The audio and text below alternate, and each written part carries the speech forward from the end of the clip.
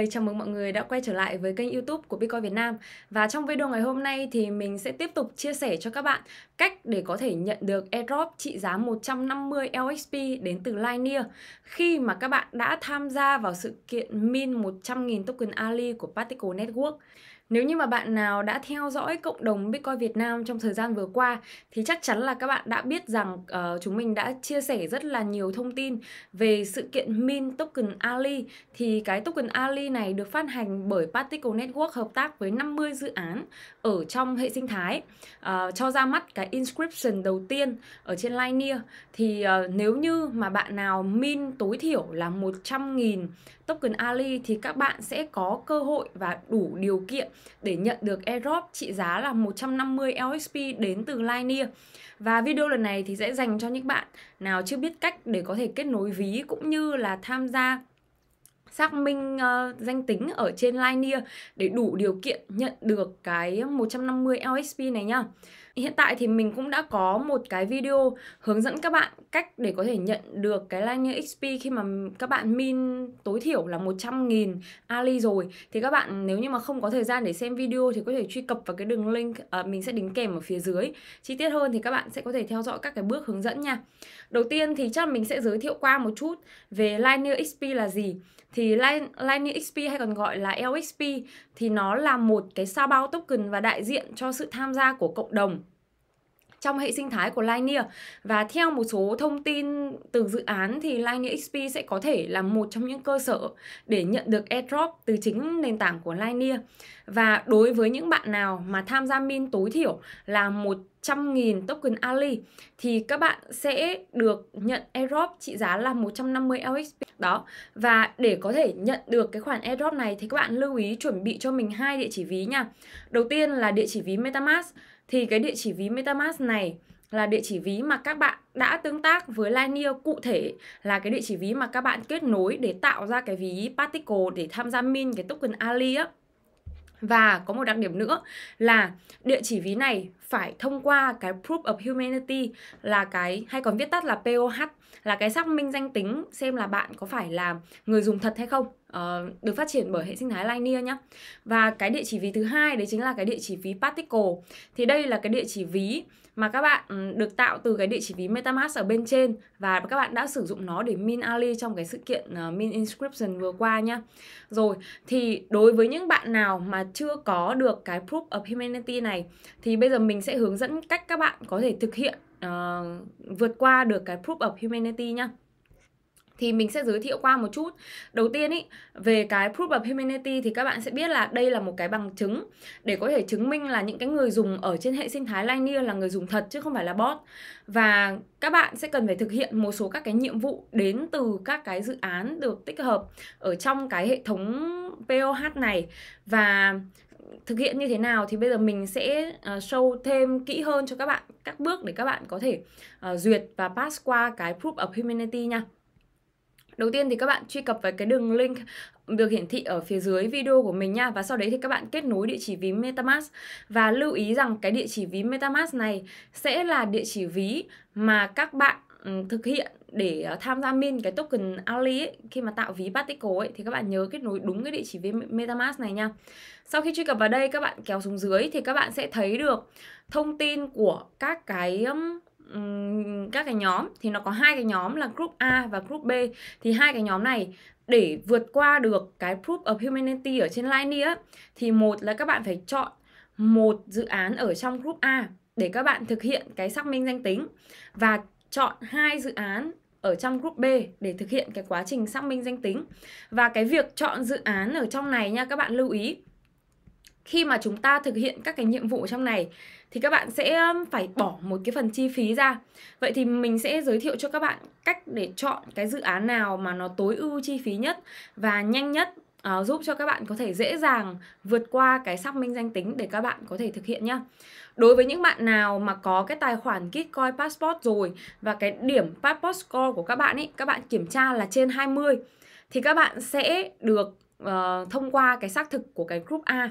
Còn đối với những bạn nào mà chưa có uh, thì các bạn sẽ có thể chọn các cái dự án ở trong này. Thì hiện tại thì group A đang có một số dự án như là uh, ngoài Gitcoin ra thì sẽ có của Pado Labs này, của Juststar này hay là những bạn nào mà tham gia testnet Voyager của ờ, NFT ấy, của Lightning thì các bạn cũng sẽ được ờ, vượt qua cái phần này nha.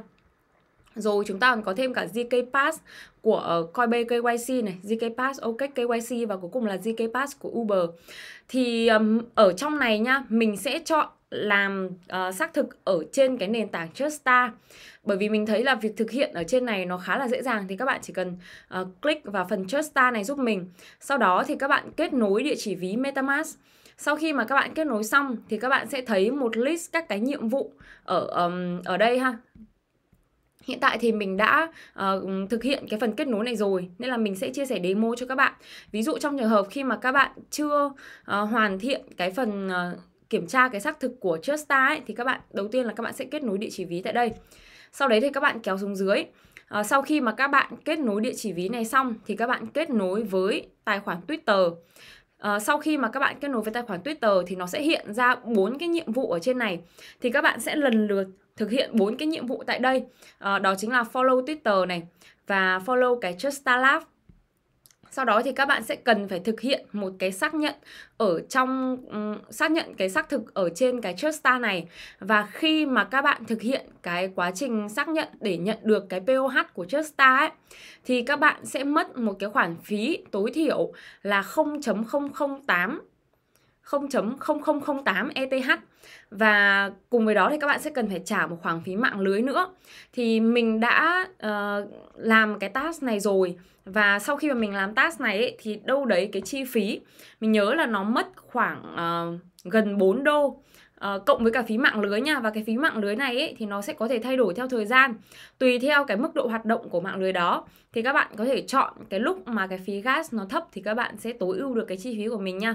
Và sau khi mà các bạn đã thực hiện xong thì đó kết nối vào đây. Uh, các bạn ký một cái giao dịch nha kết nối vào đây thì sau khi mà các bạn thực hiện xong ấy confirm giao dịch xong xác nhận ở trên ví MetaMask rồi thì hệ thống nó sẽ hiện cho các bạn một loạt tích xanh như vậy đó, sau khi mà hiện một loạt tích xanh như vậy thì chứng tỏ là bạn đã thực hiện xong cái xác thực danh tính ở trên Truststar thành công. Lúc đấy thì sao? Lúc đấy thì bạn sẽ quay trở lại cái cái nền tảng ừ, của Lightning này và các bạn kiểm tra nhé. Nếu mà nó hiện cái khung màu xanh như màn hình của mình ở đây thì tức, tức là bạn đã ừ, thực hiện thành công một cái. Tiếp theo thì các bạn sẽ thực hiện tiếp tục việc xác minh danh tính ở hai dự án ở trong group B. Thì ở đây mình cũng chọn tiếp tục sử dụng cái việc xác minh ở trên nền tảng của Juststar bởi vì mình cũng đang thực hiện trên cái đấy rồi. Thì chúng ta lại bấm vào cái phần Juststar này tiếp. Lúc này ấy, thì các bạn sẽ làm tương tự như cái bước các bạn vừa làm xác thực Juststar ở trong cái group A vừa rồi. Sau đó thì các bạn cũng sẽ kết nối địa chỉ ví này uh, follow Twitter này và confirm một cái giao dịch của nó. Thì khi mà các bạn confirm cái giao dịch này thì các bạn sẽ phải trả hai khoản phí. Một là cái khoản phí uh, cơ bản để đăng ký cái Juststar Reputation này thì nó rơi vào là 0.0004 ETH và cộng với phí mạng lưới thì cái chi phí tổng thể đâu đấy thì các bạn sẽ cần phải trả là khoảng 3 đô lưu ý là chi phí này sẽ thay đổi theo thời gian nha mọi người. Đó à, sau khi mà các bạn thực hiện cái việc trả phí xong thì các bạn sẽ ừ, tiếp tục thực hiện cái bước confirm nữa thôi thì là đã hoàn thành cái quá trình xác minh danh tính ở trên này rồi. Và các bạn để ý nhá nếu như mà khi các bạn thực hiện thành công ấy thì cái điểm reputation này của các bạn đạt được trên 20 điểm thì tức là các bạn sẽ thành công và nó hiện một loạt cái tích xanh như vậy là các bạn đã thực hiện thành công nha. Sau đó thì các bạn lại quay trở lại cái nền tảng của Linear và xem là nó đã hiện uh, cái viền xanh ở cái ô của mình chưa. Thì nếu mà nó hiện rồi tức là các bạn đã thực hiện thành công. Rồi tiếp theo thì các bạn sẽ chọn một dự án nữa. Ở đây ý, thì mình chọn dự án OX Score để mình thực hiện. Bởi vì mình đã test một số các dự án ở trên này rồi. Mình thấy là mỗi một dự án nó sẽ có một cái điều kiện khác nhau. Và các bạn sẽ đánh giá xem là bản thân mình có đáp ứng được đủ các cái điều kiện ở trên này không.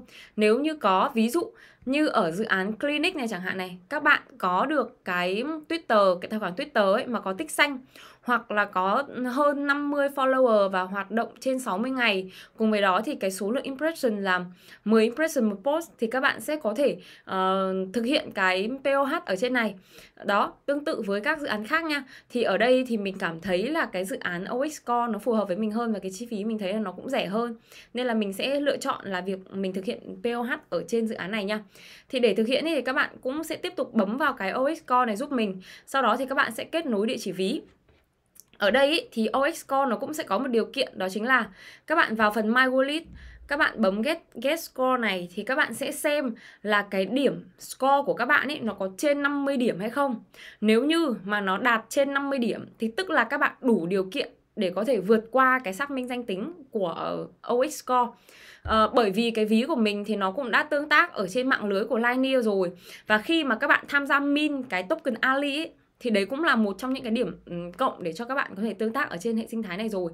Nên là cái điểm chất score của mình là nó đủ nó cái điểm OX score của mình ấy, nó đủ điều kiện để uh, vượt qua cái tiêu chuẩn cơ bản của nó. Thì sau đấy mình sẽ truy cập vào Linear attestation này và mình sẽ bấm claim cái attestation uh, để mình uh, confirm cái số điểm này của mình và nó ghi lại trên hệ thống. Thì các bạn lưu ý khi mà các bạn bấm claim cái attestation này ấy, thì các bạn sẽ cần phải trả một khoản phí nha.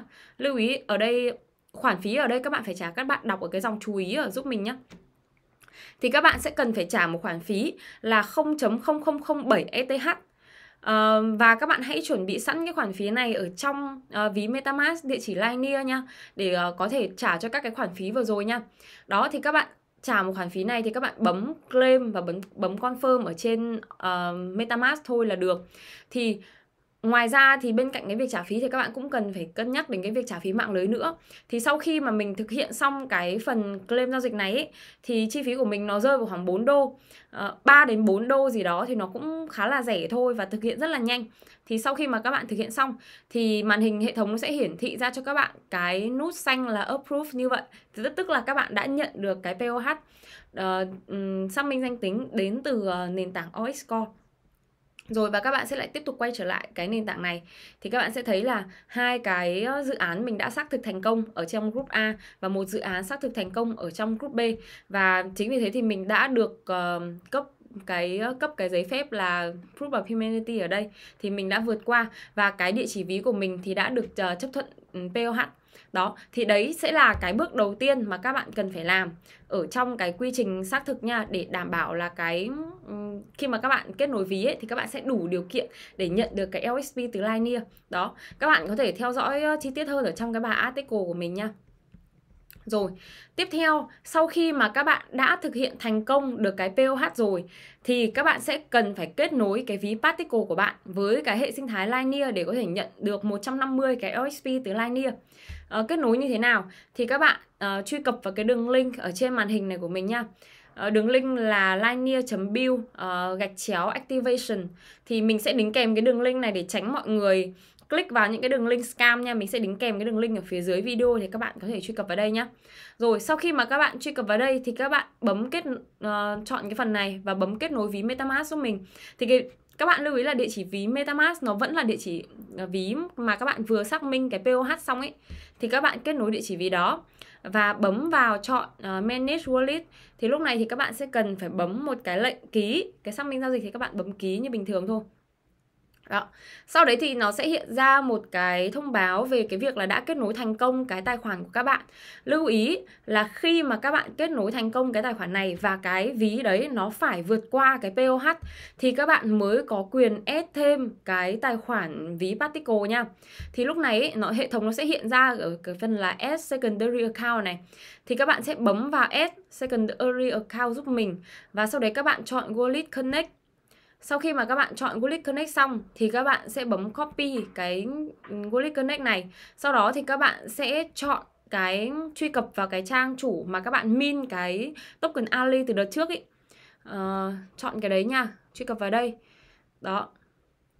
Các bạn truy cập vào đúng cái địa chỉ ví mà các bạn đã min đủ 100.000 uh, ờ, token Ali á, thì các bạn bấm vào phần góc profile ở bên góc phải màn hình này giúp mình sau khi mà các bạn bấm xong thì ở đây thì các bạn sẽ thấy là nó hiện ra một list các cái địa chỉ ví thì có ví EOA address này, ví Smart Account này và ví ờ, Connected Address. Thì cái địa chỉ ví Connected Address này chính là địa chỉ ví MetaMask mà các bạn vừa kết nối. Uh, cái Smart Account ấy chính là cái địa chỉ ví mà các bạn dùng để min ra cái token Ali. Còn cái EOA address này chính là nơi để lưu trữ, đây là cái ví EOA của Particle luôn. Thì các bạn sẽ chọn giúp mình cái phần ví EOA address này. Sau đấy bấm vào cái địa chỉ uh, ví ở góc nhỏ này giúp mình nha. Bấm vào cái địa chỉ ví ở đây. Đó.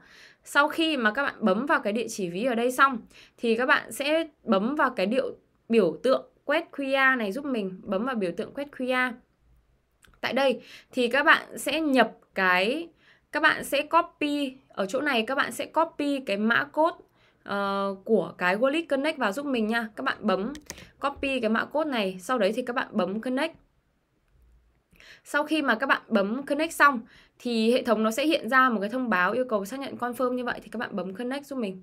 Đó.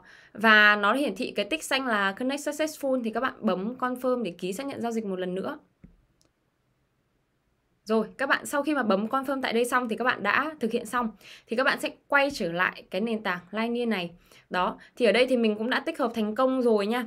Thì các bạn sẽ kiểm tra giúp mình lại một lần nữa khi mà các bạn đã add cái ví Particle vào đây thành công ấy thì mình sẽ kiểm tra cái địa chỉ ví primary account này nó là địa chỉ ví MetaMask mà các bạn kết nối ban đầu.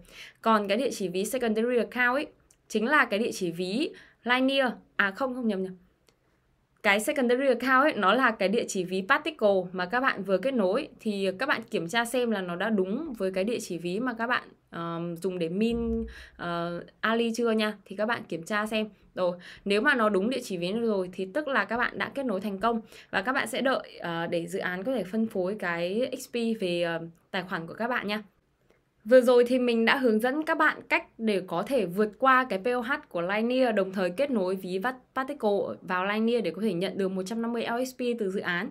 Thì có một cái lưu ý là trong quá trình các bạn làm ý thì nó sẽ mất một cái phần phí. À, trong đấy thì nó là vừa cái phí để trả cho cái việc xác thực, đồng thời nó cũng phải trả cái phí mạng lưới nữa. Thì các bạn hãy cân nhắc rủi ro để khi mà thực hiện các task để có thể tối ưu hơn cái phần phí này. Nếu như mà các bạn có bất kể thắc mắc hay là có khó khăn gì ý, thì hãy để lại cho mình một bình luận bên dưới và mình sẽ vào để kiểm tra và hỗ trợ các bạn ngay khi cần thiết nhé. Cảm ơn mọi người đã theo dõi video và chúc mọi người sẽ sẽ có một hành trình đầu tư thật là thành công nhé.